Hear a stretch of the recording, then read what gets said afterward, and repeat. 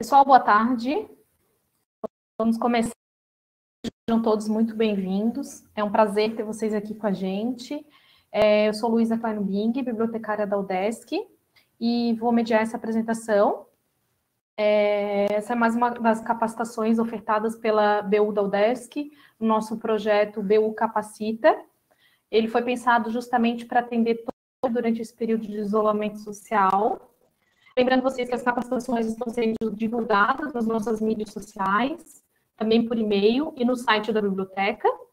Além disso, também as capacitações estão sendo gravadas e disponibilizadas no nosso canal do YouTube. Então, que capacitações que já aconteceram, todas já estão disponíveis no nosso canal do YouTube, inclusive essa também ficará, tá? A gente vai colocar aí o link no chat para vocês poderem acessar. A sala virtual ela tem a capacidade para 70 pessoas, por isso a gente pede desculpas aí, o pessoal que não conseguiu se inscrever. De inscritos, né? E a gente está promovendo também a transmissão no YouTube. E final da capacitação, então, a gente vai disponibilizar um link no chat do YouTube para que vocês informem os seus dados para emissão de certificado. Pessoal que está acessando aí pelo YouTube, e precisar de certificado, vai precisar preencher esses dados é, no link que a gente vai enviar, tá, gente? Muita atenção com essa questão dos certificados, porque a gente já teve problema em outras capacitações. Então, o pessoal que está no, na sala virtual e já fez a inscrição, não precisa preencher as informações, somente o pessoal do YouTube, tá? Que no YouTube a gente não tem como validar o acesso de vocês. É, as perguntas você enviar pelo chat da sala e também no chat do YouTube, tá? Elas vão ser encaminhadas ao palestrante no decorrer da capacitação. Então, a gente vai mediando isso, a gente não. É, muitas perguntas a gente não vai fazer de imediato, mas fiquem tranquilas, não precisam ficar repetindo as perguntas, que todas estão sendo é, salvas e serão palestrante, tá bom? A gente agradece, então, por vocês estarem aqui acompanhando a gente. E eu passo a palavra, então, para o Orestes, que vai iniciar a apresentação.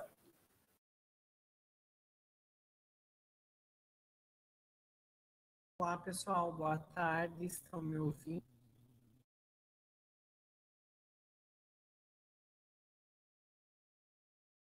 Sim, Orestes, estamos escutando sim. Só vou colocar aqui a câmera, porque tem pessoas de fora e eles não conhecem a gente. Depois eu sugiro que você também ligue a sua, Luísa.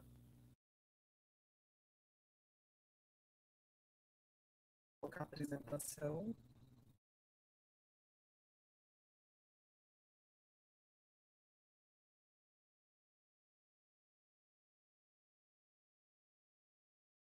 Já estão vendo a apresentação? Sim, Oreste, está certinho. Pode iniciar.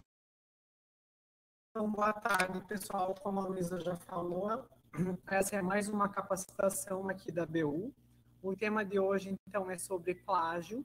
Eu me chamo Orestes Trevisol Neto, sou bibliotecário aqui na Biblioteca Central, atuo no serviço de ciência. Então, eu tenho em biblioteconomia e mestrado em ciência da informação. A Luísa também é bibliotecária aqui, é coordenadora da, do sistema de bibliotecas universitárias aqui da UDESC. E também tem mestrado em ciência da informação. Então, nós preparamos uma apresentar a vocês de uma per perspectiva mais geral, a pegar aqueles assuntos que foram, aqueles tópicos que foram divulgados anteriormente. Conceito de plágio, tipos de plágio, as penalidades para quem comete plágio e etc. Então, já estou avisando isso para vocês, porque a gente, eu vou falar de outros assuntos antes de entrar diretamente no conceito de plágio, mas que é necessário para a gente contextualizar o nosso lugar de fala. Se por acaso eu falar muito alto ou muito rápido, por favor, avisem aqui no chat. Orestes, é, o pessoal do YouTube está reclamando que o áudio, teu áudio está um pouquinho baixo. Se tu puderes aumentar Aumentei. Melhorou? Pessoal aí do YouTube, melhorou? O áudio do Orestes, Podem dar um feedback a gente.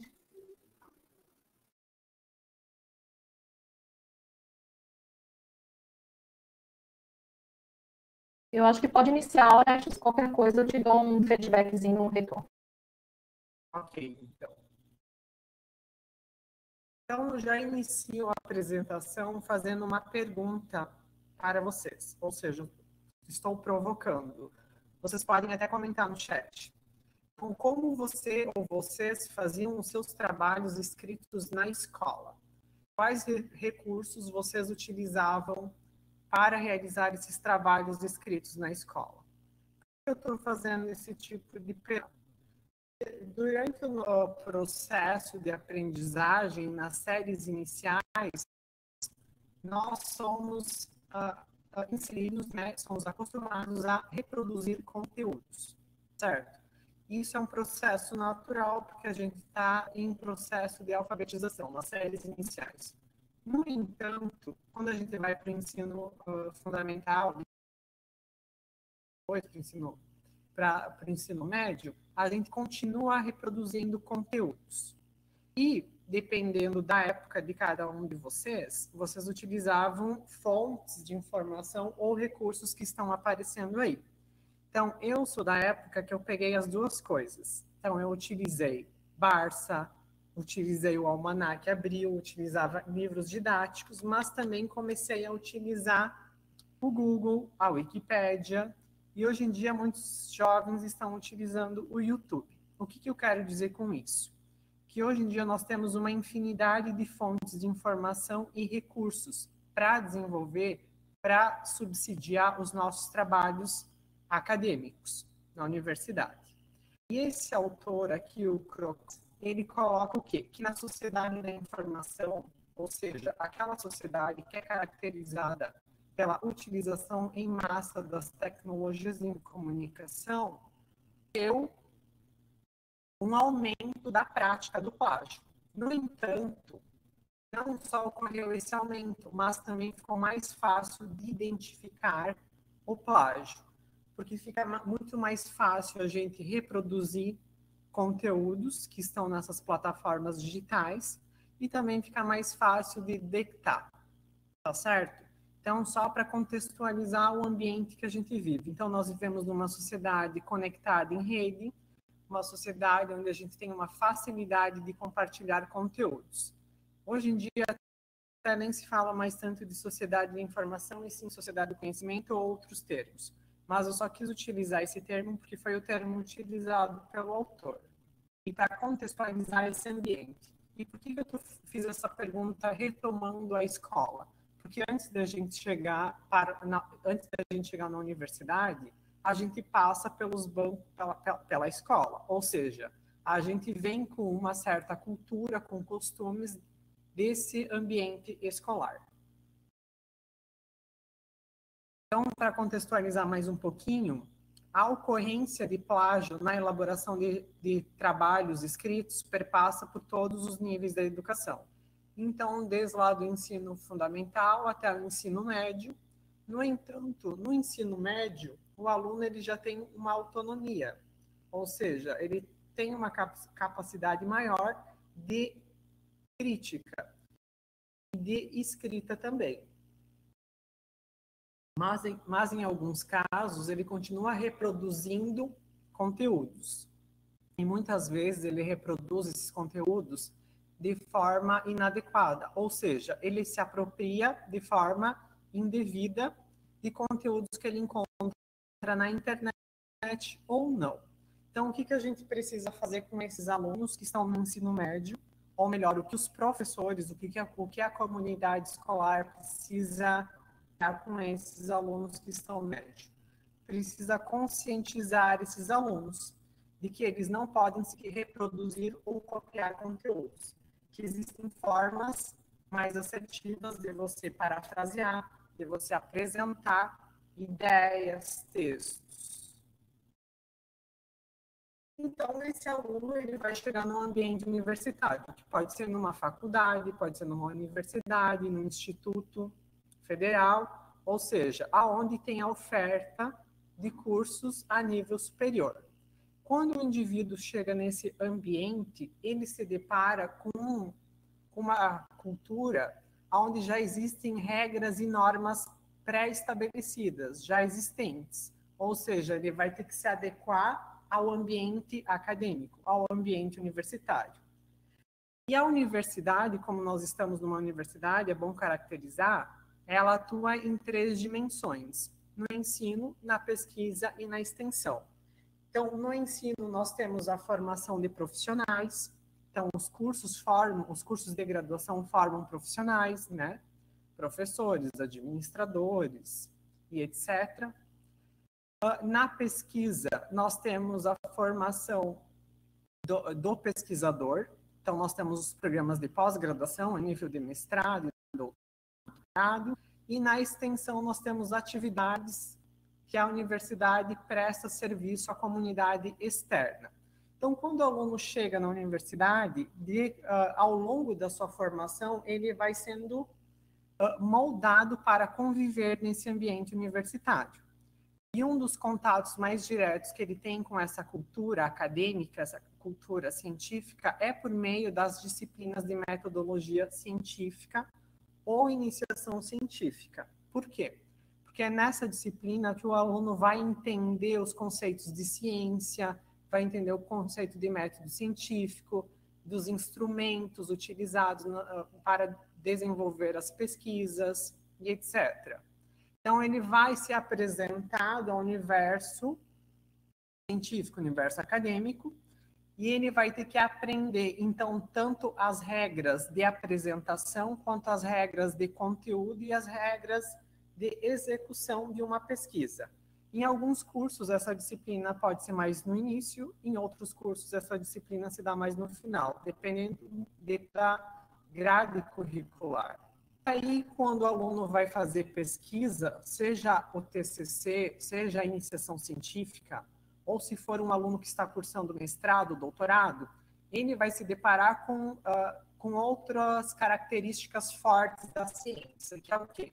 A adoção do método científico. Ou seja, não existe conhecimento científico sem a utilização do método na construção desse conhecimento a fundamentação. O que, que eu quero dizer com isso? Em toda pesquisa científica, em todo trabalho acadêmico, em todo trabalho desenvolvido dentro da ciência da academia, é necessário fazer a fundamentação, que alguns chamam de funda fundamentação teórica, ou seja, a gente tem que recorrer a trabalhos já existentes, porque a partir desses trabalhos a gente vai utilizar teorias, conceitos, procedimentos, técnicas, ou seja, a gente só desenvolve pesquisa, só constrói o conhecimento com base naquele repertório que já pré-existe. Além disso, outra característica da ciência é a avaliação por pares. Então, essa avaliação por pares, ela pode acontecer de forma direta ou indireta. A forma direta é, por exemplo, quando um aluno, um pesquisador, submete um artigo para uma revista ou submete um trabalho para um evento. Então, esse artigo ou esse trabalho, ele vai passar por uma avaliação, uma avaliação cega que a gente chama. Os avaliadores não conhecem a identidade do autor e o autor não conhece os avaliadores. Então, essa é a, é a avaliação por pares que a gente chama. A partir dessa avaliação, o autor ele recebe feedbacks e feedbacks podem ser positivos ou feedbacks que podem também ser no sentido de melhorar, de contribuir. Então, a ciência ela se, se, se caracteriza por essa avaliação crítica constante. E também a gente tem uma avaliação indireta quando os membros participam, quando os avaliadores participam, participam de bancas de TCC, de tese, dissertação, etc. Outra característica da ciência ou da pesquisa é a comunicação do conhecimento produzido. Não faz sentido você fazer pesquisa se você não comunica ela com os seus pares ou com a comunidade científica. Se a gente não faz comunicação científica, a comunicação dos resultados de pesquisa, nós estamos atrasando o próprio desenvolvimento da ciência. E, por fim, espera-se que na pesquisa, na produção do conhecimento, os autores eles sejam originais. O que, o que, eu quero dizer com isso? Que eles apresentem coisas novas, que não seja mais do mesmo. E que eles consigam uh, uh, construir algo que tenha algo no, que, que seja novo. Então também entra a questão do ineditismo, né, na produção do conhecimento científico. Então essas são algumas das características desse ambiente, dessa cultura universitária. Tá claro até aqui, pessoal? Ah, e lembrando que, então, a partir disso tudo que eu falei, não se, não se tolera qualquer forma de má conduta. A gente já vai ver o que significa má conduta. Então, no ambiente universitário, no ambiente acadêmico, valoriza-se uma formação ética e a integridade acadêmica. Então, eu pergunto para vocês, mas o que é má conduta? Esse conceito eu retirei de um manual da Fundação de Amparo à Pesquisa de São Paulo. Ele está mais voltado para pesquisadores, mas essa, esse conceito se aplica também no sentido mais geral para a academia. Então, má conduta é o quê? É a conduta de um indivíduo que, por descuido ou intencionalmente, ele vai contra os valores e os princípios que definem a integridade ética da pesquisa científica e das relações entre os pesquisadores. Então, as formas mais comuns de, más conduta, de má conduta que a gente conhece é a fabricação. Então, o que significa a fabricação? Uh, você uh, afirma que utilizou tal procedimento numa pesquisa ou que obteve tal resultado, e na verdade isso não aconteceu. Você está afirmando algo que não ocorreu na realidade, você está fabricando coisas. Nós temos a falsificação, que é quando você pega resultados, uh, dados ou resultados da pesquisa ou procedimentos e você altera, você modifica, ou seja, você faz uma maquiagem neles para uh, chegar a um resultado que você considera, considera melhor ou, ou considera que vai ser mais aceito. E dentro dessas desses exemplos de má conduta, nós temos o plágio, que é o assunto específico da nossa fala de hoje. Então, quando a gente fala de ensino superior, de pesquisa, de educação a nível superior, etc., a gente não pode deixar de comentar do CNPq, que é o Conselho Nacional de Pesquisa, né?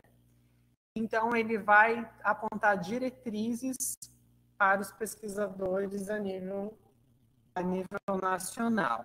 Aí, em 2012, 2011, foi criada essa comissão de integridade na atividade científica.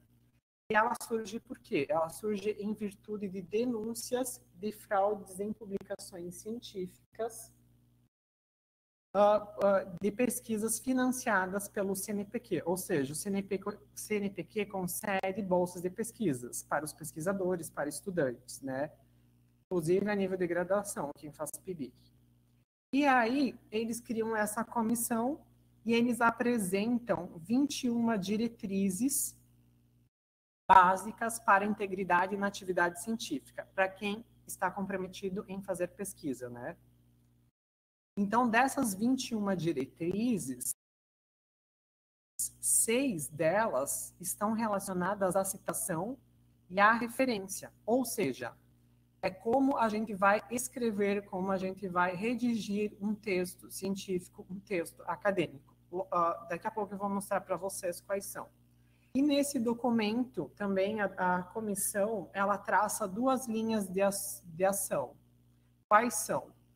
Ações preventivas e pedagógicas. Então, eles, eles defendem que as instituições devem trabalhar no sentido de desenvolver manuais, desenvolver palestras, oficinas, uh, mostrando para essa comunidade de pesquisadores e estudantes o que seriam boas práticas e o que são má, e o que é má conduta científica.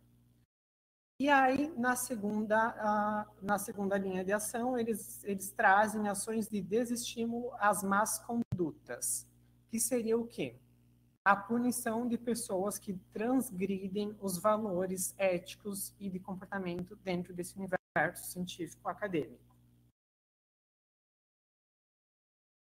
Então, aqui eu tenho aquelas três diretrizes que eu apontei anteriormente, que eu acho que elas são muito interessantes.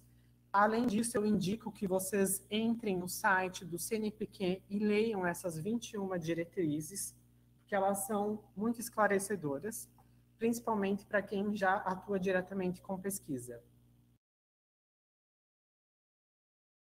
Então, vejam que a primeira diretriz já fala da necessidade de dar crédito a todas as fontes que fundamentam o trabalho científico. Então, a primeira delas está relacionada a dar crédito, ou seja, se eu estou escrevendo um trabalho, se eu estou escrevendo um artigo, eu tenho que citar e referenciar os documentos que eu estou utilizando para a construção desse documento. A segunda diretriz, ele diz o quê? Toda citação, nos termos do autor, devem ser colocadas entre aspas. Então, o que, que ele está querendo dizer nessa segunda diretriz? Que quando eu utilizo as palavras do autor de forma direta, eu devo colocar entre aspas, parecido com uma citação direta, como diz lá a norma. Outra diretriz: quando se resume um texto alheio, o autor deve procurar reproduzir o significado exato das ideias ou fatos apresentados pelo autor original, que deve ser citado. Então, a gente não pode deturpar os fatos, né, as ideias de outros autores, ser fiel ao que eles estão apresentando e sempre referenciando eles. Quando a gente tiver uma dúvida se um conceito ou fato é de conhecimento comum, é melhor a gente fazer as citações adequadas, tá certo? Então, muitas vezes as pessoas dizem, ah, mas isso é senso comum, mas alguém disse isso antes. Se alguém disse isso antes, então é aconselhado que você faça a citação e a referência.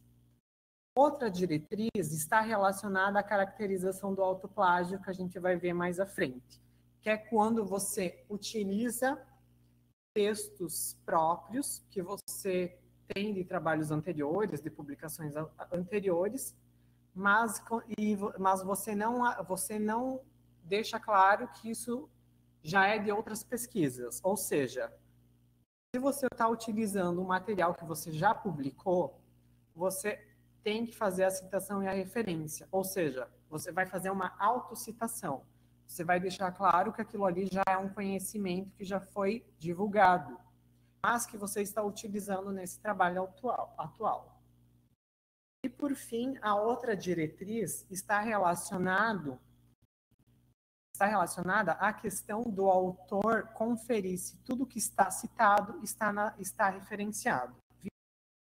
Vice-versa. Então, tem que ter esse cuidado para não fazer uma citação e depois essa citação uh, faltar na referência. Ou você tem uma referência, mas quando você for verificar o texto, não tem a citação daquela referência. Tudo certo por aqui, pessoal? Alguma pergunta? Aí, Oi, Oreste. Oi. Tran tranquilo, tá? Por enquanto não tem pergunta nenhuma. Obrigado, Luísa. Então, eu apresento para vocês aqui um autor o Merton, ele, é da, ele, trabalha com sociologia da ciência e ele destaca a importação, da, a, import, a importância, não importação, a importância da citação e da referência. Então, o que, que ele diz? Que a citação e a referência, elas são uma prática institucionalizada na ciência e na academia. Isso é de, de muito tempo, né? Então, não é de hoje. E para que, que elas servem? Então, elas servem para conceder créditos aos autores, porque quando eu faço uma citação e uma referência, eu deixo claro que aquele conteúdo, aquela, aquela frase, aquele texto é de determinado autor. Eu também consigo reconhecer a propriedade intelectual, ou seja, dizer que aquele, aquele, aquele produto intelectual é de determinado indivíduo. E é uma das coisas interessantes na ciência é que a publicação científica ela ajuda a caracterizar a propriedade intelectual. Então, quem publica antes, por isso que tem uma, uma corrida no sentido assim de publicar o quanto antes. Bom, a citação e a referência também elas ajudam a induzir as fontes de informação. Por exemplo, eu estou lendo um texto, eu gostei de um conceito, mas esse conceito é uma citação. Então, eu vou lá nas minhas referências e eu consigo verificar qual é a obra original. Se eu tiver interesse, então eu posso procurar o documento original e ter acesso àquele, à, àquele material e fazer uma leitura mais ampla e uma leitura mais densa e não ficar apenas fragmentado a, a um pequeno a uma pequena parte do texto. Além disso, a citação e a referência, então, elas ajudam a estruturar os trabalhos acadêmicos. Então, assim, não existe pesquisa sem fundamentação teórica. Então, a gente vai precisar de outras pesquisas para fundamentar. Então, lá na fundamentação teórica, a gente vai criar um texto e vai fazer paráfrase, vai fazer citação direta, vai fazer citação indireta, etc. Então, a gente também utiliza citações para contrapor pontos de vista, para fazer uma discussão, enfim. Até mesmo para verificar, uh, fazer menção a outros trabalhos, né? fazer a discussão dos resultados, enfim. Bom, outro, outro autor da sociologia é o Bourdieu que ele trabalha com o conceito de campo científico. Ele diz que nesse campo científico ele é formado por pesquisadores de diferentes níveis e que eles disputam pelo poder. Né? Então você vai ter pesquisadores dominantes e pesquisadores dominados. Só para contextualizar vocês. A citação para esse autor é uma coisa muito importante, porque quanto mais citação o autor recebe, maior é o reconhecimento que ele tem da comunidade científica, ou seja, as pessoas estão lendo os textos dele e estão citando ele. Se ele tem reconhecimento, significa que também ele pode ter prestígio. Reconhecimento e prestígio vão aumentar o capital científico dele. O capital científico, ele vem desse reconhecimento. Então, capital científico leva também autoridade científica. Se ele tem autoridade científica, ele tem propriedade no campo para sugerir como as pesquisas devem ser conduzidas, ele teorias, chamar novos pesquisadores e etc. Então vejam que a citação e a referência elas são muito importantes nesse sistema científico, nesse sistema acadêmico. E vejam a citação é importante também nos indicadores científicos que existem, né? Por exemplo, o fator de impacto trata de, um, de uma métrica de citação voltada a periódicos científicos. Já o índice H é uma métrica de citação para autores. Se vocês pesquisarem um artigo, um documento no Google acadêmico, vocês verão essa quantidade de citação e em algumas bases de dados também, como por exemplo a Web of Science.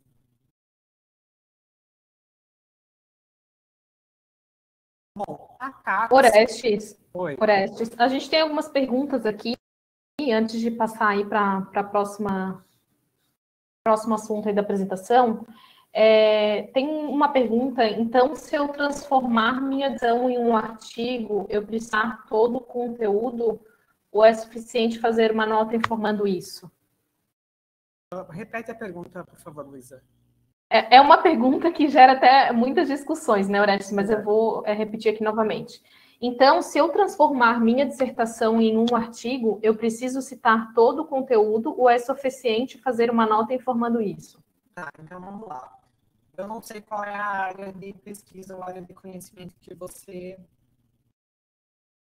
atua, né? Mas, tradicionalmente, o que, que acontecia durante um tempo? Você fazia lá a sua dissertação, fazia a sua tese, e a terminava esse, é, essa fase, essa etapa, você publicava. Não necessariamente você vai ter que fazer uma citação para todo o conteúdo. Geralmente, alguns periódicos científicos, eles já apresentam uma nota dizendo assim, artigo oriundo de tese, ou artigo oriundo de de dissertação ou produto, né, de tal coisa. Então, mas isso varia muito de cada área de conhecimento. O que, a gente verifica que está acontecendo hoje em dia em algumas áreas? como existe uma agilidade, precisa de uma agilidade para publicar, para publicar os resultados de pesquisa, para eles não ficarem obsoletos, algumas, alguns programas de pós-graduação já consideram que durante o processo de construção da tese ou da dissertação, o aluno já vá submetendo artigos e publicando artigos ou trabalhos. Mas essa é uma questão muito particular de cada, tá certo? E respondendo à tua pergunta, você não vai fazer uma citação para cada, pra, digamos, no artigo inteiro referente à sua dissertação. Porque a gente entende a dissertação e a tese como um produto de um período de formação. E, digamos assim, na nossa área, a gente chama ela como uma literatura cinzenta, né?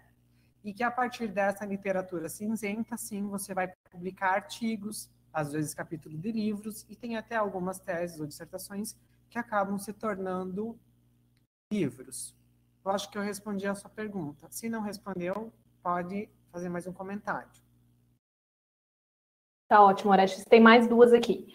O, outra pergunta é: se eu usar uma de alguém para ministrar uma aula, isso é plágio? Se você deixar, se você deixar claro que essa apresentação não é sua, não é plágio. Mas se, por exemplo, você pegar a apresentação e chegar no lugar e, e passar a mensagem para o leitor ou para o aluno, para quem está ouvindo, que aquilo ali foi você que produziu, aí a gente considera que é um tipo de plágio. Mais à frente a gente vai ver um conceito de plágio. Mas o que, que às vezes as pessoas falam? Ah, eu peguei uma apresentação na internet lá que e apresentei como se fosse minha. Sim, é plágio, porque você se apropriou de forma indevida. Se você deixa claro que aquilo ali não, não é uma apresentação sua, por exemplo, ah, eu assumi uma disciplina, no entanto, eu vou pegar os slides do professor que ministrava essa disciplina anteriormente. Aí eu vou fazer adaptações, ou senão eu vou deixar usar o material do jeito que está. Se você deixar claro que, aquele, que você não é o autor desse material, eu acho que você já consegue se defender de uma acusação de plágio. Tá, tem mais, tem mais duas perguntas aqui, Orestes. Se eu utilizar parte de um título de alguma obra para elaborar um título de um artigo científico, por exemplo, e coloco essa informação em uma nota de rodapé, isso é considerado plágio? Eu acredito que não, porque você está colocando na nota de rodapé. Mas assim, pode ter títulos homônimos? Eu acredito que até pode. Como existem pessoas com o mesmo nome, existem cidades com o mesmo nome. Eu não tenho certeza disso. Mas, assim, ó, o título é que depende de, de, de que âmbito que a gente está falando de plágio. Aqui nós estamos falando do plágio acadêmico. Se fosse num âmbito artístico, eu acho que talvez poderia ter uma, uma música com o mesmo título, uma peça de teatro com o mesmo título, uma um livro com o mesmo título pode confundir o leitor, né? Tudo depende de que contexto que nós estamos falando do plágio. Se você deixar claro que é um outro trabalho, mas assim, a gente também deve evitar fazer isso, né? Porque você consegue colocar um, um subtítulo no título, então já é uma forma de, de solucionar esse problema. É, complementando aqui, o Ítalo pergunta se essa perspectiva ou monografias, mestrado, são aplicadas para quem quer produzir um artigo a partir de um TCC próprio. Repete a pergunta, por favor. Essa perspectiva de teses ou monografias de mestrado, dissertações, né, no caso, são aplicadas para quem quer produzir um artigo de um TCC próprio? Então, Uh, você está falando daquela perspectiva que eu comentei anteriormente, que a pessoa está produzindo e ao mesmo tempo que ela está produzindo, desenvolvendo a tese, a dissertação, ela já vai publicando artigos, é isso? Então, eu acho que a gente tem que fazer uma distinção. Quando a gente está na graduação e está fazendo um TCC, a gente está num processo de formação, então é o nosso primeiro contato com a pesquisa, a não ser que você já tenha feito iniciação científica ou já tenha atuado em algum grupo de pesquisa. Então, esse vai ser o teu primeiro contato. Você pode sim publicar um artigo, pode publicar um trabalho em evento relacionado ao seu TCC. Mas geralmente isso vai acontecer quando você terminou o TCC e até mesmo porque você vai precisar da colaboração do teu orientador, não apenas no TCC, mas em todas as fases, né, no mestrado, no doutorado, mas em específico no, na graduação, porque muitas revistas elas não aceitam artigos de apenas graduados ou graduados, né? Eh, geralmente as revistas científicas, dependendo do conceito, dependendo de, de quem é o editor, a instituição né, editora, eles exigem que, no mínimo, o aluno esteja na pós-graduação, a nível de mestrado e doutorado, ou se for um, uh, se for um aluno de mestrado, que tenha um coautor doutor. Então, assim, ó, eu teria que falar mais sobre comunicação científica, porque os periódicos científicos, eles são avaliados a partir de certos critérios. E um dos critérios é que tem aluno de pós-graduação. No caso, como você está na graduação, você não está na pós-graduação. Então, para a revista não é tão interessante se o artigo fosse apenas da sua autoria. No entanto, se você produzir esse artigo com o seu orientador, e ele é um doutor ou um mestre, aí você tem mais chance de publicar. Mas, assim, ó, respondendo a tua pergunta, o ideal é que você converse com o seu orientador, que você analise que tipo de pesquisa que você está produzindo, se a tua pesquisa tem contribuição para a área, se ela apresenta algo novo ou se ela é simplesmente uma releitura ou algo daquilo que já se sabe, já se conhece. O interessante, o que, que as revistas procuram? Elas procuram pesquisas que tragam resultados novos, interessantes, novas abordagens, novas discussões. Se a tua pesquisa tem esses elementos, se você tem um orientador, que está disponível, que tem interesse em publicar e que ele tenha ele atenda os, e que vocês atendam os critérios da revista, vocês podem sim publicar. Mas eu sugiro que você publique depois de ter terminado o TCC, porque aí você já passou por uma banca de TCC e também recebeu contribuições da banca. Até mesmo se o seu trabalho estiver muito bom, a banca vai indicar uma publicação. Uh, não me interprete de forma equivocada. Não estou querendo dizer que deve publicar. Sim, deve publicar. No entanto, esse cuidado.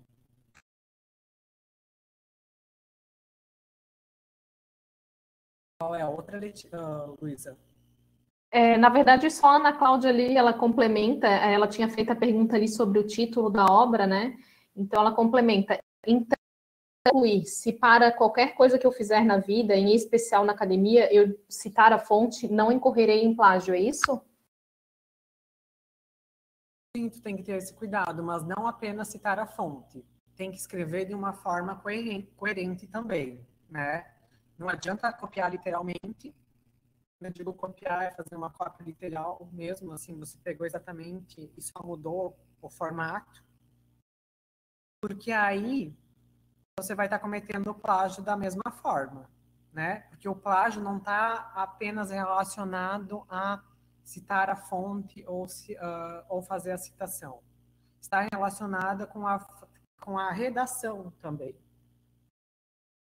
Mas assim, ó, sempre, se você tem esse cuidado de citar, referenciar, se você tem esse cuidado uh, de deixar claro que, que você, da onde que veio esse título, por que foi a escolha desse título, até mesmo na introdução você pode colocar isso. Você já está se defendendo, entende?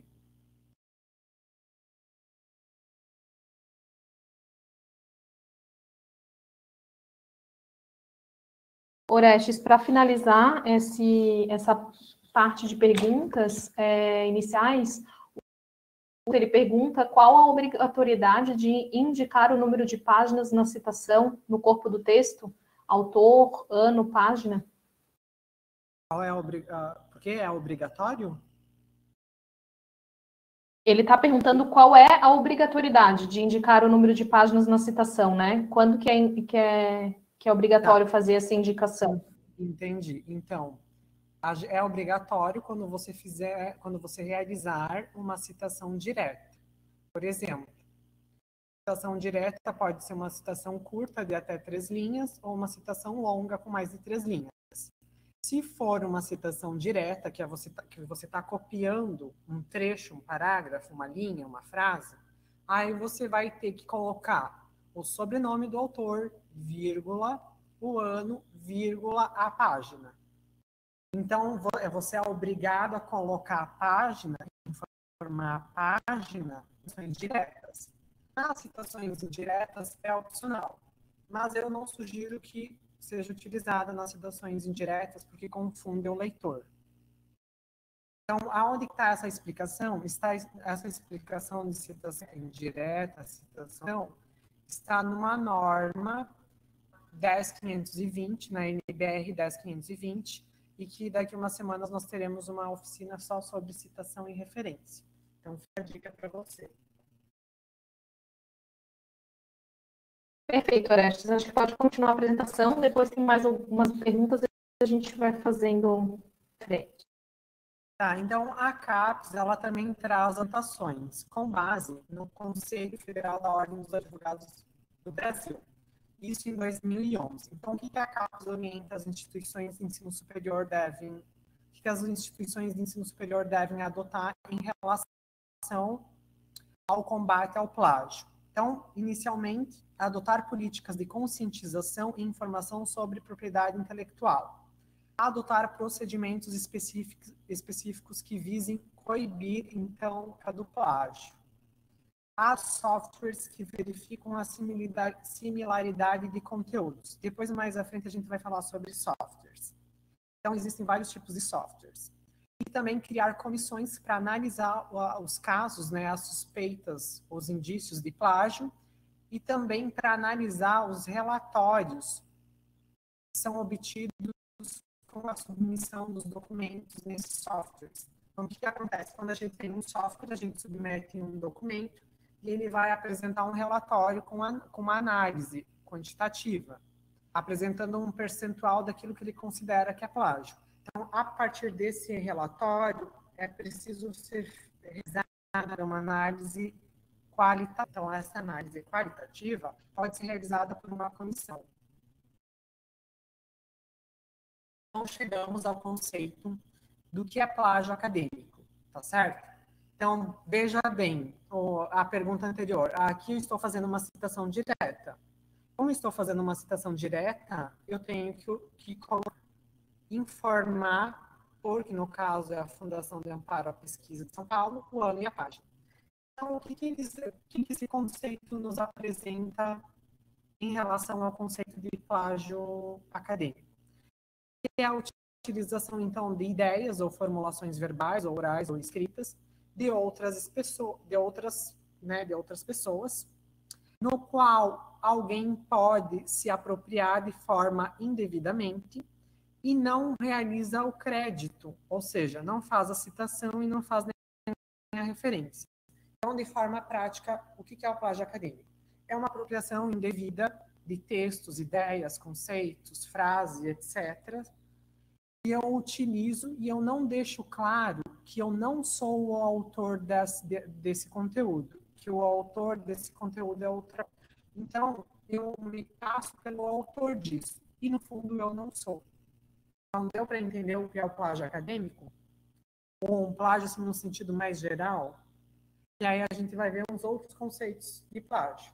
Né? Daí tem uma classificação. Mas assim, ó, gente, existem outros conceitos. Notei, eu adote para apresentar para vocês, porque eu, como é de uma fundação de amparo à pesquisa, eu acho que ele é pertinente. E esse conceito, está, esse conceito aqui está no Manual de Boas Práticas da FAPESP. Então, sugiro que vocês verifiquem também. Está disponível na internet. Aí o Crocox, que é um autor renomado nesse, nesse tema, quando a gente fala de plágio, porque ele tem livros publicados, a, a tese dele foi em cima do assunto, ele tem artigos publicados ele traz uma releitura do conceito de plágio na pós-modernidade. Então, o que, que, ele vai falar? Que o plágio ele é um fenômeno complexo, muito difícil de ser analisado, de ser estudado, que ele não se limita à prática de copiar e colar, ele está presente em diversas áreas do conhecimento. Então, eu gostei da, desse conceito dele aqui. Então, o que é o plágio acadêmico? É uma fraude autoral que visa enganar o leitor na medida que é dissimulada a autoria, violando princípios, né? Então, vejam que definição. Pelos textos que eu li, pela literatura, é muito mais comum acontecer um plágio acidental do que o plágio intencional, que é quando a pessoa tem intenção de, de tem intenção e tem ciência do que está cometendo. Bom, então agora nós chegamos aos tipos de plágio acadêmico. Então, o primeiro deles é o plágio direto. Então, é uma reprodução literal de um texto, onde você não, você não indica a fonte. Quando eu falo em fonte, sempre pense em citação e referência, tá certo? Você está construindo um texto, você vai precisar dessa, desses dois elementos. Então, você copiou, uh, fez uma cópia e não identificou quem era o autor. Então, esse é um plágio direto. E que é o tipo de plágio mais fácil de identificar. Até mesmo se você jogar no Google, às vezes você consegue localizar de forma fácil esse tipo de plágio. Aí nós temos o plágio indireto, que é quando se tem uma reprodução das ideias, né, de uma fonte original, com palavras diferentes dessa. Mas você não identifica a fonte. Então, você reproduz uma ideia, usa outras palavras e não indica quem é o autor. Aí, depois, nós temos o plágio mosaico, que é uma reprodução de fragmentos de fontes diferentes, ou seja, você vai pegar um pouquinho de texto de cada documento vai misturar eles, vai usar com uh, preposições, pala outras palavras, conjunções, e vai dar uma nova cara para esse texto. E não vai citar a fonte. Aí a gente chama de plágio mosaico, que é como se fosse uma concha, uma colcha de retalhos, né? Uma colcha de retalhos. Aí nós temos o plágio como sentido, que é aquele uh, que é no caso assim é quando você compra quando você compra ou encomenda um trabalho acadêmico, ah, não estou conseguindo fazer meu TCC, minha dissertação ou tese, vou pagar por um terceiro fazer. Chegando no final, você apresenta se fosse sua. Ou um trabalho emprestado de algum colega e apresenta como se fosse seu. Ah, estou fazendo tal disciplina, tem que apresentar um artigo. Outro, isso tanto no quanto na pós. Não tenho tempo, não gosto do assunto, enfim, por N motivos você pega o trabalho de alguém que concedeu esse trabalho para você e apresenta como se fosse seu. Aí nós vamos ter um, o plágio chavão, que não é muito comum, mas eu acho que tem até relação com a pergunta anterior lá do título, que é a reprodução de expressões, chavões ou frases de efeito, de efeito elaboradas por, por outros, né? Então, por exemplo, assim, ó, se eu escrever um e colocar no texto, uh, penso logo existo. Essa frase não é minha. Não lembro agora de quem é essa frase. Mas eu, deve, eu devo indicar que, a, que essa expressão, que esse chavão não é meu. Apesar que muitas pessoas vão saber que não é seu, mas tem pessoas que podem acreditar que foi você que criou. Aí nós temos um plágio de fontes, que esse é um plágio acidental, que me parece que ele acontece muito com alguns alunos de graduação, porque eles estão lendo um material, um conteúdo e eles gostaram de uma citação. Aí eles pegam e copiam aquela citação e colocam no trabalho deles. E depois vão lá nas referências do documento que consultaram e copiam a referência. No entanto, eles não tiveram acesso ao documento citado na íntegra. Eles fizeram apenas uma leitura daquela citação. Então, isso se chama plágio de fontes, que é a reprodução das citações em outros e, por fim, nós temos plágio, que eu já comentei anteriormente, logo eu vou apresentar outros conceitos, que é a reprodução de trabalhos próprios já apresentados, mas quando você não deixa claro que eles já foram apresentados, que eles já foram publicados e que eles são seus. você dá a impressão de que aquele conteúdo é novo. No fundo, ele não é. Ele já foi apresentado. Bom, então aqui ó, outros conceitos de autoplágio. Então, o CNPq apresenta, uh, apresenta esse conceito. Consiste na apresentação total ou parcial de textos já publicados pelo mesmo autor tem as evidências aos trabalhos anteriores. Alguém pode perguntar, ah, mas eu posso dados de um outro artigo, dados de uma outra pesquisa, num trabalho que eu estou escrevendo agora, numa pesquisa que eu estou escrevendo agora? Sim, eu posso, desde que você faça a sua autocitação, que você cite o seu trabalho anterior e coloque nas referências. O que não pode é é usar a própria pesquisa anterior e apresentá-la para a publicação como algo novo e original, sendo que não é. Então, o Spinac e outros pesquisadores, eles falam que o auto o autoplágio está muitas vezes relacionado ao produtivismo acadêmico. É aquela pressão que os pesquisadores, os acadêmicos sentem de produzir e publicar um grande número de artigos num período para conseguir uh, obter um determinado conceito do programa de pós-graduação, ou para conseguir manter sua bolsa de pesquisa, enfim. É, o, que, o que alguns autores dizem é que o autoplágio está relacionado, então, a esse sistema autoprodutivista.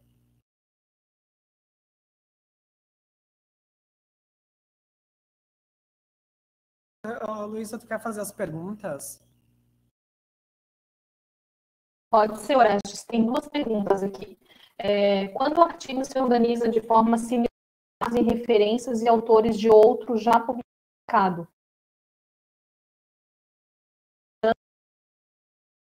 Cortou a pergunta, tu pode repetir. Quando o artigo se organiza de forma similar e com base em referências e autores de outro já publicado, mas organizando o conteúdo de forma distinta, isso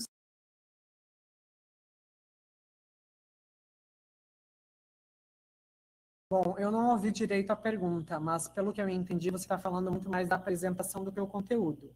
Então, acho que a apresentação não é uma coisa assim que vai ser tão prejudicial. O importante mesmo é o conteúdo.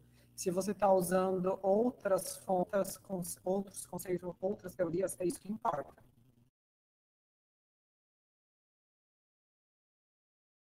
Luísa? Alô? Não estou no telefone. Telefone desligado aqui. Tem uma pergunta da, da Renata, e ela diz que começou a trabalhar em uma instituição não. e encontrou um trabalho em que outro utilizou um trecho de um trabalho meu publicado e em nenhum momento fez referência à pesquisa dela. Como ela deve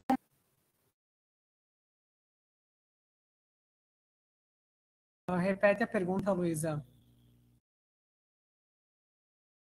Ela disse que começou a trabalhar numa instituição e em trabalho em que um outro professor utilizou um trecho de um trabalho publicado dela.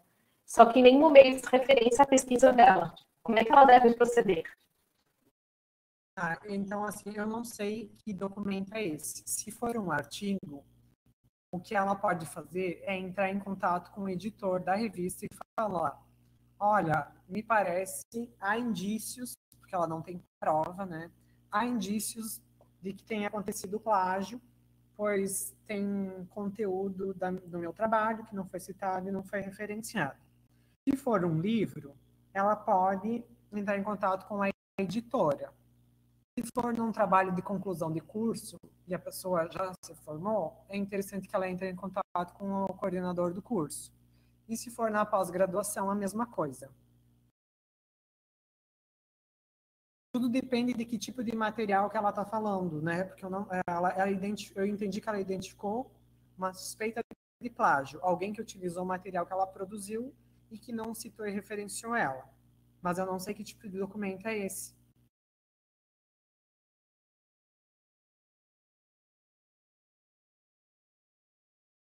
E tem uma pergunta aqui do Daniel, que ele pergunta se plágio de fontes acontece no uso do APUD. Não, porque daí o APUD está deixando. Para você evitar o plágio de fontes, você vai usar o APUD. No entanto, o APUD não é muito utiliza, não é muito recomendado utilizar. Então você vai utilizar o APUD quando você realmente não tem não consegue acessar o texto original. Então, digamos, ah, é um texto lá de 1800 que, não, que eu não consigo encontrar uma versão online, eu não consigo no Brasil, daí sim tu pode utilizar o APUD, porque o que, que é o APUD? É citado por. Então, você cita o autor, o autor original, citado por fulano. Então, você pode utilizar o APUD, que ele não é autoplágio. Tá? que ele não é plágio de fontes. O APUD, então, não é um plágio de fontes, mas você não pode banalizar o APUD. Por enquanto é isso, Orestes. A primeira pergunta deu para ouvir a resposta? Deu sim. Ah, tá. Se não foi claro, vocês façam a pergunta novamente. Mas, assim, também deixando claro que eu não sou nenhum especialista no assunto, estou respondendo essas perguntas com base naquilo que eu conheço. Sempre é bom verificar o que dizem os manuais da instituição de vocês, o que dizem uh, os, os manuais das instituições de fomento, que é essas que eu apresentei, a perspectiva dos orientadores, dos professores, né? O que eu estou falando aqui também não é uma verdade absoluta. Bom, então aqui nós temos algumas dicas de como eu posso evitar o plágio. Certo? Essas dicas foram elaboradas pela, pela nossa comissão aqui da UDESC. Então, o que, que, é, o que, que a comissão indica? Ao utilizar frases, parágrafos, ideias ou conceitos já publicados, lembre-se de fazer a citação da autoria, ou seja, você vai créditos. Lembre sempre de utilizar as normas de citações. No caso, aqui no UDESC, cidades brasileiras, a gente utiliza as, as normas de citação e de referência, que é a 10520 e a 6023. Mas existem outras normas. Existe Vancouver, APA, a, enfim. Para cada área de conhecimento, dependendo do contexto social internacional, vão normas específicas. Então, vocês têm que ter conhecimento da norma. Por exemplo, se eu for publicar um artigo numa revista X, lá nas instruções dela vai dizer que tipo de norma ela utiliza ou não. Outra dica bacana é utilizar os gerenciadores bibliográficos, tipo o Mendeley, o EndNote e o Zotero. E na medida que você vai construindo o texto que você vai escrevendo, você consegue inserir de forma automática a citação e a referência. Uh, mas às vezes as pessoas confundem isso. Não é que esses linhas, não é que eles vão escrever, eles não vão escrever o texto para você. Escreve o texto para você. Você só vai inserir citação e inserir referência. Ou seja, ele vai poupar o seu tempo, certo? E alguns deles precisam alguns ajustes. Tem alguns programas que só fazem, digamos, citação indireta. Então, se você quiser fazer uma citação direta curta, você vai ter que colocar entre aspas, vai ter que colocar página. Se for fazer uma citação direta longa, vai ter que dar um recuo de 4 centímetros e colocar a página. Então, assim, eles são bons, eles são úteis? São. Mas tudo depende da peça que está computador, né? Ainda não é uma inteligência artificial. Bom, outra dica é procure tutoriais ou oficinas que tratem de normalização acadêmica e produção de texto, ou melhor, redação científica, redação acadêmica. E quando a gente escreve um texto para uma revista, para uma dissertação, ou até mesmo para um trabalho de conclusão de curso, a gente usa uma linguagem diferente. Não é a mesma linguagem de escrever um romance, não é a mesma linguagem de escrever uma crônica, né? a gente tem uma impessoalidade, a gente se baseia em fatos, em teorias, na observação, né, na expressão, utilizar métodos, utilizar técnicas. Então, é, uma, é um outro tipo de redação, uma outra linguagem. Por isso que o que se percebe, o que se percebeu numa pesquisa que foi feita sobre plágio com alunos de pós-graduação no Brasil, na USP, inclusive por aquele autor que eu falei lá, o Crocox, mais uma autora, que eu não lembro o nome, mas está disponível no, no Cielo, na base de dados Cielo, eles identificaram que os alunos de pós-graduação, de mestrado e doutorado, eles, eles têm clareza do que é o conceito de plágio, eles sabem o que é plágio. No entanto, eles têm uma dificuldade para reconhecer o, plá, o plágio na prática. Então, vejam, não, não adianta apenas você saber que, que plágio existe, que o conceito do plágio, que tipo de plágio que é. Você tem que cuidar com a escrita, tem que ter um cuidado com a escrita. E aí eles fizeram um questionário com esses alunos e eles colocavam questões lá com paráfrase. E aí o aluno tinha que assinalar se ele achava que a paráfrase estava certa ou não. Então, verifique, vejam como a redação, a escrita, é muito importante nesse processo.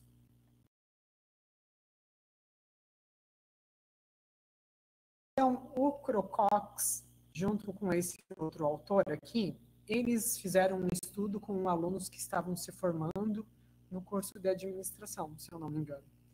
E eles procuraram verificar quais eram os motivos da ocorrência do plágio nesse, nessa amostra que eles estudaram essa amostra de estudantes concluintes de graduação. Aí eles identificaram os seguintes motivos: a falta de tempo, ou, se, ou também a procrastinação, ou seja, às vezes as pessoas deixam para fazer as coisas na última hora. Pra, quando você está escrevendo um artigo, uma tese, dissertação, enfim, não dá para deixar para fazer as coisas de última hora, porque para escrever exige leitura, reflexão, escrita, né? Então, tu não vai fazer isso de uma hora para outra. Nessa questão do tempo, eles falam que as pessoas, às vezes, também elas têm uma dificuldade de administrar a grande quantidade de atividades acadêmicas. Então, às vezes, é um volume muito grande de trabalhos. Outra questão que eles apontaram é o interesse em obter boas notas. Então, eles querem uma, uma, uma nota boa. Às vezes, ac acredito eu, que acham que quanto mais parecido, melhor vai ser a nota, né? Quanto mais parecido com o conceito original, o trabalho, melhor vai ser a nota. A outra questão que eles apontaram é uma dificuldade na escrita acadêmica, que eu já falei anteriormente, e também o desconhecimento das regras de citação e referência. Então, como elaborar citação e referência? Se o aluno ele tem desconhecimento, se ele não tem habilidade das normas, realmente ele pode cometer um plágio acidental, né? Que não foi proposital, que aconteceu sem a intenção dele. E, a, e esse Crocox também ele tem uma hipótese, que ele fala do desinteresse científico. O que, que acontece? As pessoas fazem um ensino superior e elas têm que fazer o trabalho de conclusão de curso, tá certo? Mas, no final das contas, elas estão ali para conseguir o diploma, para exercer uma profissão. O interesse deles não é em si fazer pesquisa. E aí, então, eles fazem essa atividade apenas como uma etapa. Então, eu vou fazer porque eu tenho que fazer para conseguir o meu diploma, mas não porque realmente eu estou comprometido com pesquisa.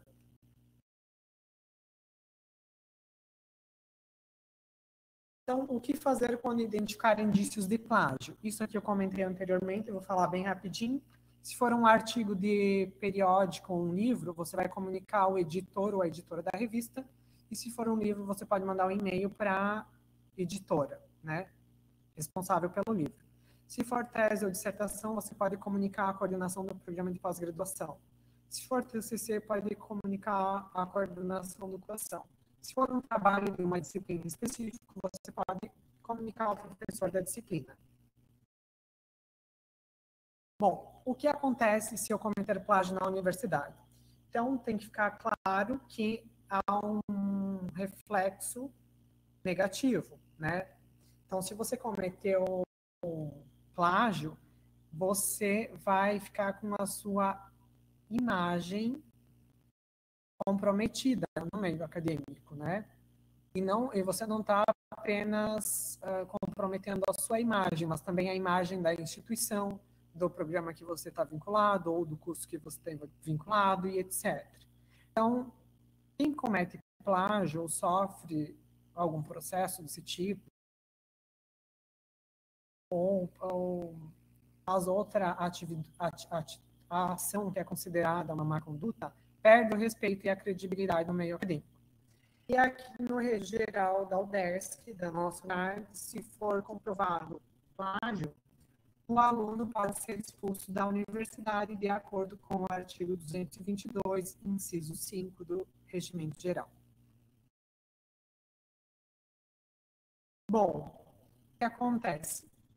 Antes dele ser expulso, né, ele pode sofrer um processo administrativo. E, além disso, se for confirmado o plágio, então é o, o indivíduo, né, a pessoa, pode perder o título de bacharel, licenciado, mestre ou doutor. Então, ele pode, ser, ele pode ter o seu título cassado e também pode perdê-lo com a universidade.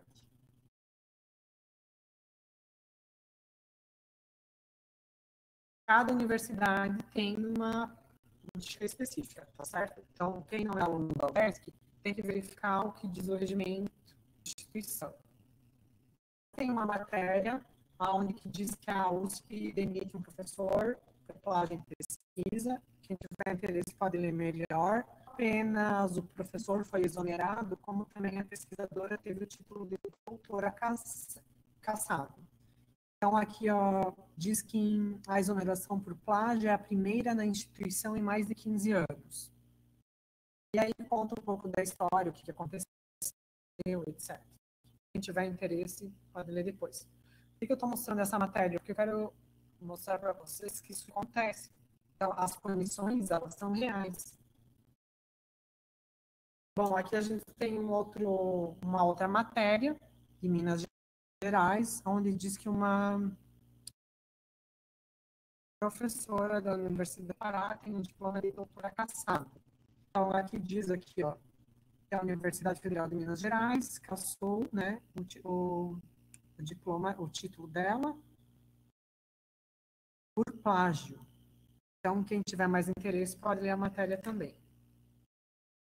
E aí, aqui tem uma matéria na revista da pesquisa, na revista Pesquisa, né, da pesquisa aqui da UDESC, na revista Pesquisa da FAPESC, que diz que as universidades brasileiras, elas estão desenvolvendo a Então, campanhas educativas de conscientização, ações, palestras, a, a compra de softwares né, e o treinamento uh, sobre a utilização desse software também por parte dos acadêmicos. Bom, a FAPESP, que é a Fundação de Amparo à Pesquisa do Estado de São Paulo, tem uma, uma iniciativa muito bacana. Eles têm uma página na internet que sumário de casos. Então, depois vocês podem ler melhor aqui. Uh, podem ler melhor na internet também. Que, o que, que é esse sumário de casos? É uma página na internet onde eles colocam todos os processos relacionados às más condutas. Então, se você clicar em cima do processo 16.263, você vai ver quem é a pessoa que está sofrendo o processo, o motivo, o que, que aconteceu, papapá, o fluxo. Então, por que, que eles criaram esse sumário de casos? É como se fosse um mural da vergonha. Então, quem está envolvido com práticas de má conduta acaba sendo exposto. Essa exposição é justamente no sentido assim, ó, de inibir essas práticas. Ou seja, é uma ação primitiva, de certa forma, né? indiretamente, porque depois eles vão sofrer outros tipos de. Então, digamos aqui, ó, se no site lá, processo 16, se eu não me engano, esse processo aí trata de um caso onde um pesquisador colocou artigos na, no seu Lattes, mas que ele não era autor, ou seja, ele não, não publicou aqueles artigos. Então, ele, ele prestou uma informação falsa. Aí ele teve que justificar, teve que se defender, que foi um acidente, etc. E tal. Então, quem tiver mais curiosidade pode entrar e acessar. Bom, quase chegando ao fim, plágio é crime, então está descrito no artigo 184 do Código Penal, e diz que direitos de autor e os que lhes são conexos podem gerar pena de detenção de três mil anos ou multa. Bom, e a Lei de Direitos Autorais, 9.610, descreve as medidas cíveis para quem violar os direitos do autor. Então, o material pode ser retirado de circulação, material plagiado, e também pode ser exigida uma indenização ao dono dos direitos autorais digamos, ah, eu plagiei um livro de literatura, ou um livro científico, o material vai ser recolhido, né, de circulação, e ainda vai ter que pagar uma indenização. Então, aqui nós temos alguns softwares anti-plágio, que esses softwares, então, eles vão fazer o quê? Eles vão verificar a similaridade dos textos. São instrumentos para auxiliar na detecção do plágio. Como eu falei anteriormente, eles vão fazer um, eles vão emitir um relatório uh, um relatório que tem informações de similaridade de texto. Então, a frequência das palavras, né? A, a frequência, a, a, quantidade de vezes que apareceu no, no documento tal conteúdo. E aí depois tem que ser feita uma análise mais qualitativa para verificar se realmente é plágio ou não é plágio. Porque às vezes ele pode considerar uma citação direta como plágio e não é, uma, e não é certo? Mas assim, então os softwares eles são ótimos para pegar esses plágios descarados e também não os descarados. Alguns funcionam com idiomas diferentes, outros funcionam apenas com o mesmo idioma.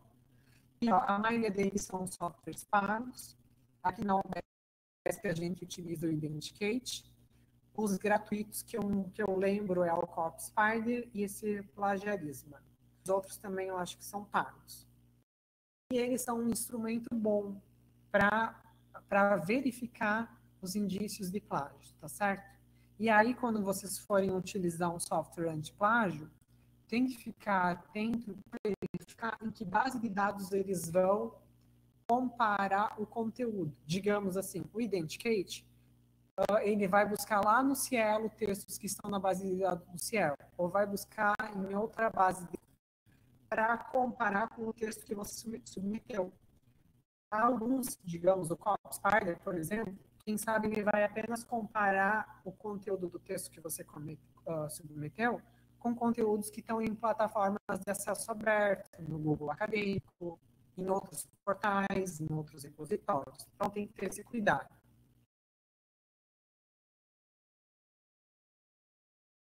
Bom, então ah, tem mais alguma pergunta, Luísa? Tem sim, Orestes. Tem duas perguntas aqui do Eunir. Uma delas é qual a obrigatoriedade de mencionar ISSN ou ISBN na referência das normas da BNT? O ISBN e o ISN, eles não são obrigatórios nas referências, eles são elementos tais, tá certo? Não é obrigatório, você pode colocar para caracterizar ou para uma referência. O que é o ISBN? É um número padrão de livro. Então, é como se fosse identidade do livro. E o ISSN é um número padrão de um periódico científico, por exemplo. Então, assim, para fazer a referência, não é obrigatório colocar o ISSN e ISBN. É um, é um elemento complementar. Quem diz isso? a norma 6023 de 2018. Tem outra pergunta aqui dele também. Ele questiona qual programa é indicado para organizar os fichamentos dos artigos já lidos para usar como referência. Bom, eu não conheço um software para fazer fichamento. Eu sei que existe, mas não conheço, nunca utilizei. Mas se você já se você tem o Mendeley, você dentro do Mendeley, quando você abre o arquivo, o arquivo em PDF, tem um campo lá que você pode fazer notas, escrever. Então, é como se fosse um pequeno espaço para fichamento. Além do artigo dentro do Mendeley, você faz essas anotações lá dentro, ele fica lá, quando você abrir esse arquivo novamente, essas, essas anotações elas ficam lá, elas ficam salvas. Então, essa resposta eu não sei dar. Se alguém está assinando a indicação, por favor, nos comunique.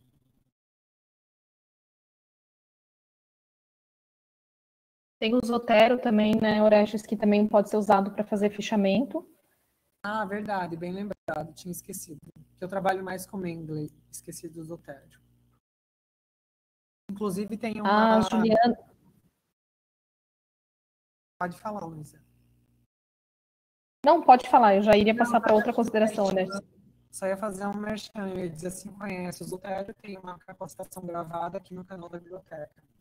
Uma professora, aula lá da UFPR.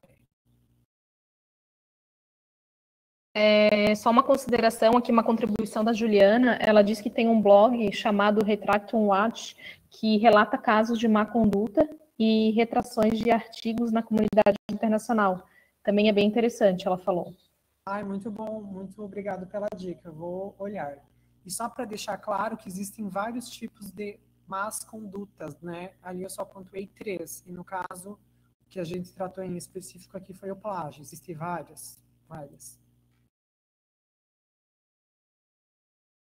Bom, de perguntas, é, para isso, Orestes, acho que eu posso continuar a apresentação, se tu puder me auxiliar na, passando os slides para frente, porque tu estás aí comandando a apresentação no, na plataforma. É, só lembrando, pessoal, a gente vai disponibilizar no chat do YouTube agora o link para as inscrições para quem precisa de certificado, tá? Reforçando que é para quem está somente no YouTube, assistindo pelo YouTube, pessoal que está na sala virtual no ERMP, inscrição antecipadamente e se inscrever novamente. Tá bom? É, a gente vai trazer aqui um pouquinho para vocês, então, né, após a bela apresentação do Orestes aí, dos conceitos é, bem esclarecedores aí com relação ao plágio, a gente vai trazer um pouquinho para vocês do que, que a universidade, né, a nossa UDESC tem pensado, no, se preocupado com relação a esse, a esse assunto. É, no início do ano passado, num fórum de bibliotecas da UDESC, a gente constituiu uma comissão de combate ao plágio, uma conduta em pesquisa, e após essa reunião, a gente foi é, nomeados, então, a gente teve essa comissão nomeada pelo reitor. A comissão, ela tem membros é, bibliotecários, professores, tem editores de periódicos científicos da universidade e temos alunos também, tá? Pode passar, Orange. Então, o que, que essa comissão, é uma comissão bem recente, né? Vamos considerar que ela tem um ano aí. É, o que, que essa comissão desenvolveu de lá para cá, né? A gente tem um folder que foi elaborado, um folder virtual no site da Biblioteca Universitária, que traz um pouco dos conceitos e algumas orientações com relação ao tema plágio. Tá? Tem bastante coisa que o Orestes trouxe na apresentação que também está no folder. Quem quiser acessar o folder, ele está no, no site da Biblioteca Universitária, então. A gente vem promovendo palestras com o objetivo de com comunidade acadêmica com relação a esse tema, né? Inclusive, essa palestra é uma promoção também é, que já aconteceu em outros momentos presenciais, né, antes da pandemia, e a gente vem continuamente aí é, promovendo para conscientizar a comunidade acadêmica. É, foi então aqui o software Authenticate, é, que é um software anti-plágio, do que o Orestes já falou, né? Ele tem um objetivo, então, ele não. Ele traz indícios de plágio, né? Então, o que, que a gente. É, ele não afirma que o, o, documento é um plágio, né? Ele traz indícios e, a partir do relatório que ele traz, identificado, né? Analisado se realmente aquilo é um plágio, né? Foi adquirido o software, ele, a princípio, atende primeiramente os artigos dos periódicos científicos é, administrados publicamente na nossa universidade e também atende, no caso, teses que possuem algum indicativo, algum indício, né, alguma denúncia já de plágio. É, então, a gente, a partir da aquisição desse software, a gente elaborou também uma instrução normativa, né, que ela define quais são as normas para se utilizar esse software anti-plágio. E a gente aplicou também uma pesquisa sobre plágio direcionadas direcionada para os alunos. Eu vou trazer aqui um pouquinho do resultado da pesquisa para vocês terem um pouco de conhecimento. A partir dessa pesquisa, onde a gente conseguiu nortear as próximas ações da comissão, né? Porque a gente, é, no nosso universo, é, vamos dizer, a gente pode considerar que o tema é, é muito claro, né? Que seja muito é, claro para a gente o que, que é plágio, mas a gente entende que para os alunos nem sempre isso é, né, isso é tão claro assim. Então a gente aplicou essa pesquisa com esse objetivo. Vou trazer aqui para vocês terem conhecimento, né?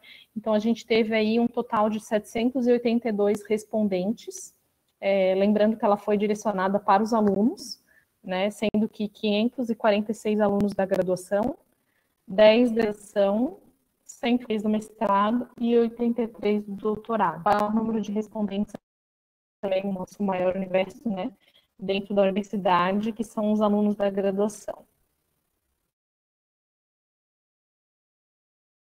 Então, a primeira, a primeira pergunta da pesquisa era qual era o conhecimento que eles tinham sobre plágio, né? A gente vê que a maior parte do, dos alunos responderam que aprenderam como é, fazer citações somente na universidade. É, 216 aprenderam no colégio, na escola, e 146 iam falar, mas tinham dúvidas sobre o que se configurava plágio. A gente questionou também se eles já arafrasearam, né, ou copiaram, ainda que trechos pequenos, né, algum conteúdo, sem citar e referenciar a fonte. É, a gente tem um número bem expressivo, né? É, 400 pessoas responderam que sim, né? Então, eles fizeram essa cópia sem referenciar, então, no caso, um, um, é, algum indicativo aqui de plágio, né?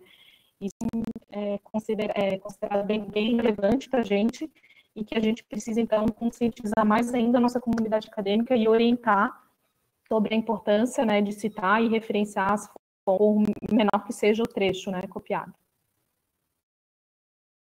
A gente quis se eles identificaram plágio em outras pessoas. A resposta foi um pouco parecida, né? A gente teve 406 pessoas aí que já identificaram. Se eles já participaram de conversas sobre plágio similares no último ano, é, 476 pessoas não participaram, 306 sim. Então a gente vê também a necessidade de reforçar esse tipo de conversa, né? De a gente conversar mais assunto e orientar. A gente vê quais são as implicações para quem comete plágio na universidade. É, muitos deles, a maioria sabe, 496 é, pessoas sabem e 285 não. Ainda tem um universo que não sabe, né? E por isso a gente ainda considera a importância de orientar sobre esse tema. A gente pergunta também se eles acham que os casos de plágio são sempre intencionais. É, 615, grande parte disse que acha, né? Então, mais uma vez, reforça a questão de que é, não, não acontece, né? Que a gente entende que não acontece adicional. Essa é por falta de hora de esclarecimento forma de citar e referenciar o que eles utilizam na sua produção acadêmica, né? Então, mais uma vez, reforça aqui. A gente pergunta se as pessoas cometem plágio porque não aprenderam as regras de citação e referência. E, uma vez, traz também a resposta de que a maioria acha que sim, né? Por eles acham que ações educativas ajudam a prevenir que estudantes cometam plágio. É, né, colabora aqui com a, a, nossa ideia de que 740 acham que sim, a gente busca fazer essa prevenção, essa conscientização aí da comunidade acadêmica com relação ao assunto. Normalização para as situações de referências na BNT, 714 sabem que sim, horas. E a gente tem também as nossas normas da BNT, elas estão disponíveis no catálogo da nossa biblioteca universitária, no catálogo online. Isso foi mostrado na nossa capacitação da semana passada. E a gente pergunta se eles sabem disso, se eles têm conhecimento, né? Eles podem acessar essas normas da BNT remotamente, podem acessar de cá através da VPN. E muitos sabem consideram importante a disponibilização do software para auxiliar a identificação do plágio. Grande parte considera que sim, e por isso também a gente fez a aquisição desse, do software Authenticate. Eu acho que era isso. O objetivo aqui era trazer para vocês um pouquinho do resultado né, da pesquisa, é, do que, que a comissão tem feito, do que, que a universidade tem se preocupado aí com relação ao tema. Eu acho que era isso. Acho que não tem mais nenhuma pergunta. Orestes quer fazer mais alguma consideração? Eu só quero agradecer a todos que participaram, que fizeram perguntas, que dedicaram o seu tempo aqui para com a gente aí dessa apresentação é justamente provocar ação e um olhar mais atento né, da comunidade acadêmica ao plágio. Eu acho que era isso. Agradeço a participação de todos e a gente fica bem feliz que tem pessoas de outras instituições participando e é tá, tá muito bacana esse feedback, esse trabalho que a gente está desenvolvendo toda quarta-feira, né? Então, na próxima quarta-feira vai ter outra capacitação que é sobre como elaborar um pré-projeto de pesquisa. Já estão convidados. Então, da minha parte, era isso.